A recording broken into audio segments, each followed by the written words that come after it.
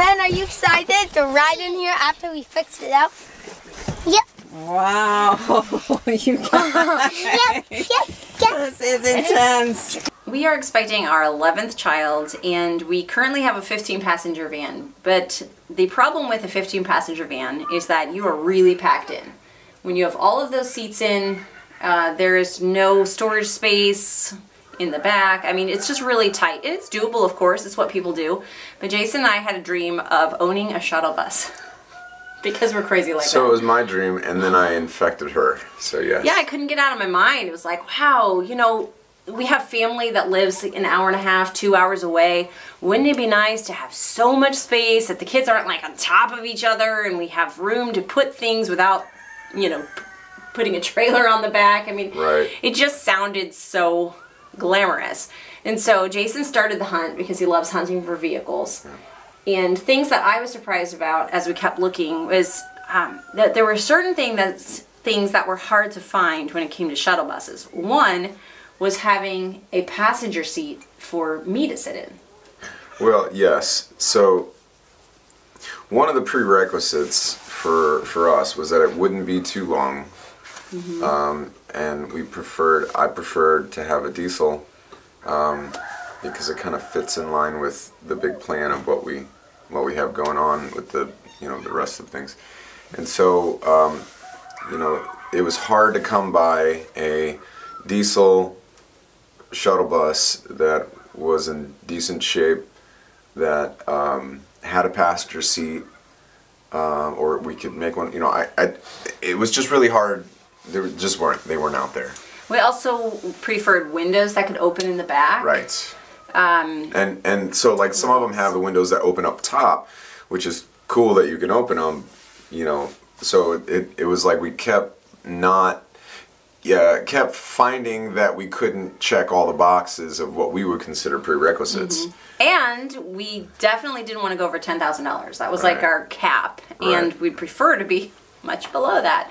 So there were just so many factors. But they finally, um, Grandpa actually found Right. this shuttle bus down in Georgia, and I can link that video so you can see the whole process of going to get it. It was quite an ordeal. and as is with a lot of, was this on Craigslist or Facebook Marketplace? Base marketplace. yeah. Well, as it goes with a lot of purchases, um, you don't know 100% what you're getting. You're trusting a person's word, and so traveling eight hours like you had to do, Almost nine. you know, it's it's just a chance. And so there were some things wrong uh, with the bus that we weren't disclosed and we didn't know about going into it. right. So, But he was down there, and we talked over the phone, weighed the pros and cons, and decided this was a good fit for us. it was worth doing. So we have a project here because we like projects, and we are going to try to make this uh, very comfortable and user friendly for our family um, for traveling medium distances and long distances. Um, and maybe just uh, going to the grocery store. I don't know. We'll see how this goes. So we're uh, the the seats in here. We're going to reconfigure, and so it came with 25. We're going to take out 10. Um, in doing so, we'll be able to register it uh, in a way that will not require a CDL license, which is good. That way, if um, any of us want to drive it that have a driver's license, can, as long as they feel comfortable.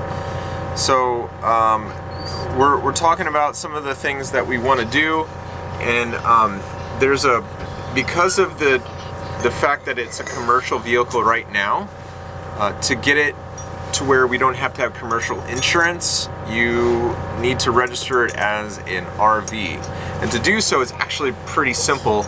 You have to have like four things of this long list of, uh, well, not long list, but a list of things um, that would make an RV like you would expect. You know, like um, um, having uh, heating and cooling, so an air conditioner and a heater, like having uh, water, um, a portable, self-contained uh, uh, bathroom of some sort, sink, um, AC power. Um, so anyway, long story short, there there are four things that we want to do to it. It's because it's just a very old system, so it's gonna be difficult. What's so funny? Where are you going with the seats? Out the back. Out the back Okay, great. And where are they going to go then? Right. We have to think about this. If it rains tonight, rains tomorrow, Right, give me this that sort of thing matters, right? So what I want to do, boys, we've taken out how many seats? Three? That's the third. Good, and they don't smell. So. Well, I don't. It's all gonna have a residual moldy smell, and so we'll have to clean them. And it's okay. I've got a plan. It's like um, vinegar and a shop vac and some um, Okay. maybe a steam cleaner. This stuff's in bad shape. This may have to disappear. So the current plan is to pull up all the carpeting and the floor, maybe replace some of the sides with wood, and pull up the paneling in the ceiling and replace it with wood. We're also going to be removing 10 seats, so we have 15 seats instead of 25. We're going to be pulling out any that have rips, maybe moisture or mold damage. Oh my. You got it? Mm-hmm. You got it. Remember. I like this window. Gives me a whole lot of visibility anyway. Unless we just turn it this way. And we make it- That's enough for me. With screwdriver? Yes. You can take That off? Uh, take all those those. screws right there. Be careful not to touch or poke I am. the speaker. I know, but if you Do we want to save this? whatever you Yes. get. Okay, this hold on. Because I got it too. Oh wait, Okay. this is wait. Can I hop down? Oh. Fire! Here, wait. Sam, go get him. All right, now go out. Remember what we did last time? I'm just standing here. Yes. Tell me if you want me to do something. Yeah, Elsie, rest it on the chairs. Yeah. Is that a snake? What? Snake? You wow. Push it out. Don't face. Leave it in there. Elsie, you want to go out and grab the, this end? Okay. Hold on. Wait for Elsie to come. Jeremiah, grab the middle. I got Jeremiah, the middle. Jeremiah, middle. He's waiting on me. I got it. Keep on going. We're putting Jeremiah, it come on the towards middle. more. All right. This is where um, some small four-legged things had made a home, and so um, you know, get that stuff out of there because that smells, of course. We call it uh, fixtures down, out, and uh, took the DVD uh, TVs off, um, the wiring. You know, trying to while we're doing this, like, do we need this? Is this is this going to line up with the end goal?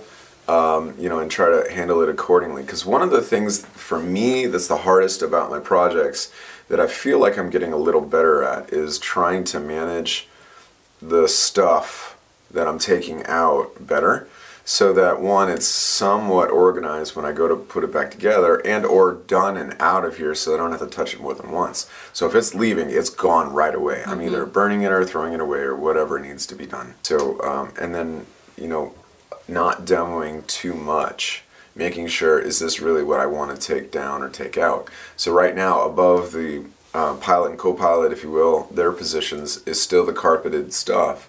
And from what I understand, even though the, the, the smell might still be there from like a musty, it's not damaged or moldy or mildewy. It's sort of like a separate part It is, yeah, it You So- have this body, and Right. then you have That. They call it a cutaway. So the front part of the vehicle is actually a van they cut away and then added on on the frame of like a dually truck, if you will, um, a body. You know, a fiberglass body with some metal framing around it, and and uh, well, I guess it's it's also aluminum.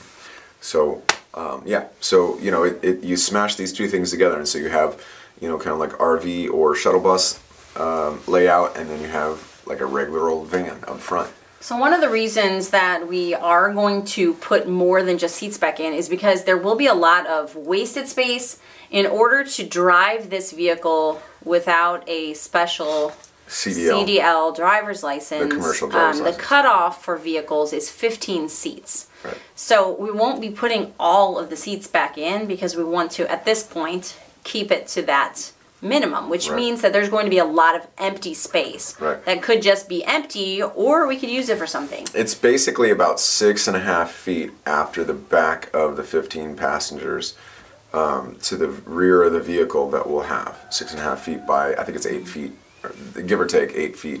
Maybe it's like seven and a half. When we go somewhere, like we go down to the Ozarks, and we borrowed an RV, a little RV.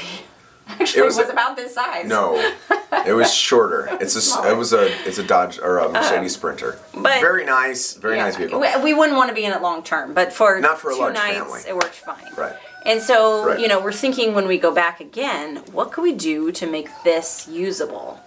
So the plan is to put those 15 seats back in. and start building up like bunk situations mm-hmm. and figuring out. So we have some general plans, Yes, but Joe and I have been like plotting and scheming. we've and been going back and I, forth. I really think that we need to get the seats in before we start making any kind of decisions. Because the loose kind of idea that we had talked through initially was to have uh, structures in place that we will be able to put bunks, bunk beds over those. Uh, he's barking. Over those seats, so that um, kids could sleep in here on those overnights, all the way back, lining both walls. And in the back, there would still be room for a large air mattress that we could sleep on. Um, just trying to figure out how to make this work Best in a small space. Right. And then we can even do the driver's passenger side where With we're another putting bed. you know, some small kids in there.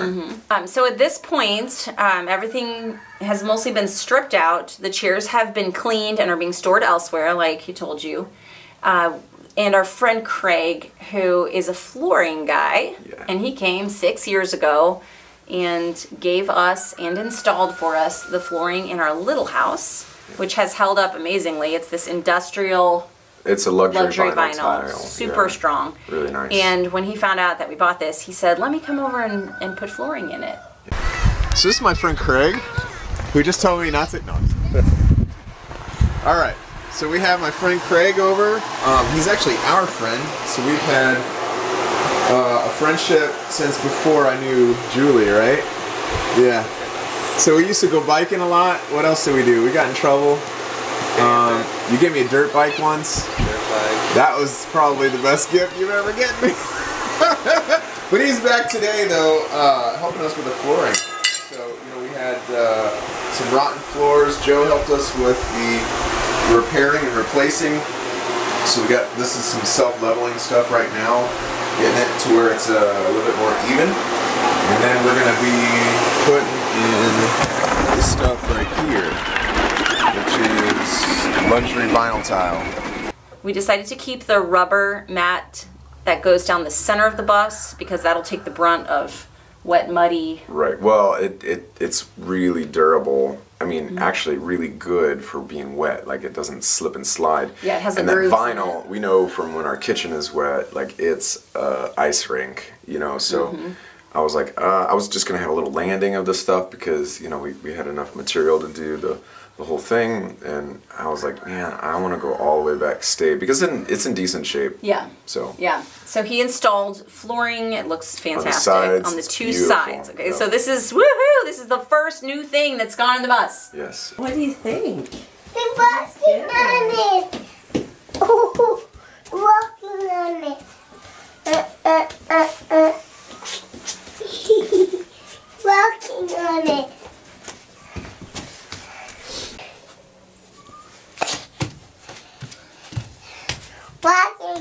So the next thing that's going to happen is Jason's going to do a better waterproofing. Um, yeah. So that all this wonderful work we do doesn't go to waste. So. We want to make sure that it's totally watertight going forward. Mm-hmm. Um, and then taking the windows out. And what are you going to do with the windows before you put them back in? So um, there's a, a spot above the windows right here is starting to flake and it's dirty and it needs to be resealed. And so basically while we're touching it, we're going to go ahead and just uh, knock off the loose stuff and then give it a coat of paint. Uh, I know it won't match exactly, but it's separated enough from the bottom part of the bus that you probably won't see too much of it when you're back at like 10 feet or whatever. And so we decided to, to clean that up and then reseal the windows. So they come out kind of split. There's a frame on the inside that holds them together, and, and so they fit into the hole. And um, we're going to take those out, and I, I bought a bunch of Vulkem uh, caulk. It's a polyurethane caulk that stays tacky, if you will, pliable, and uh, so it's a what we call 50-year caulk, and that will help to seal up our windows. And you know, there, there's a there's a I'm sure that we're going to continue to run into things, and and as I had mentioned before about other things, it's a really large struggle for me to not do this 100%. Meaning, like 80% is good enough. What is it supposed to be? This is not going to win any beauty pageants. Right. It needs to just be safe, That's reliable, and none of the work that we've done hopefully gets eroded by us not doing work. So, you know, we're trying to do any prep work that needs to be done to preserve the work that we've done. Mm-hmm. So, We're also wanting to remove the tinting from the windows. It's got this which I kind of started purple- doing. Yeah, so the one of the the first windows over here is is kind of where we like it. Um, it's it's wavy, bubbly, peeling, cracking, which will make it easier to remove. kind of. It's a pain. If you guys know any tips, uh, you know people say heat gun, but it takes a lot of time using a Mm-hmm. heat gun. Do you have any faster ideas for us? We're about speed here. Yeah, I mean razor Speed knife, and you know there's maybe alcohol or something like that. There's almost two layers of tints. There is. There actually there's three layers of tint. So there's a factory.